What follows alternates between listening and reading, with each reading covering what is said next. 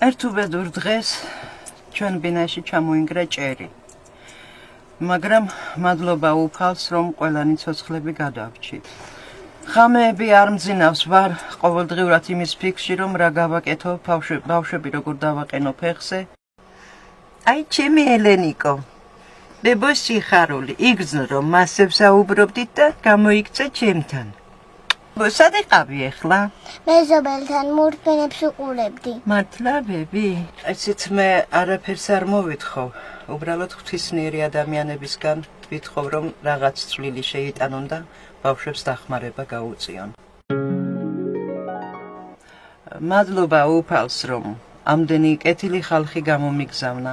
ესეც ხალხისგან წამოვიდა დიდი სითბო. ჩამოდიოდნენ თბილისიდან, გვირეკავდნენ ზოგი თანაგვიგრძნობდნენ. მოქონდათ ბავშვებისთვის საჩუქრები, სურსათი, ზოგმა ფული საჩუქა, გულმა გაიხარა. ღმერთმა დალოცვილი გატაროთ სიცოცხლის ბოლომდე. სიკეთე არასდროს არ იკარგება.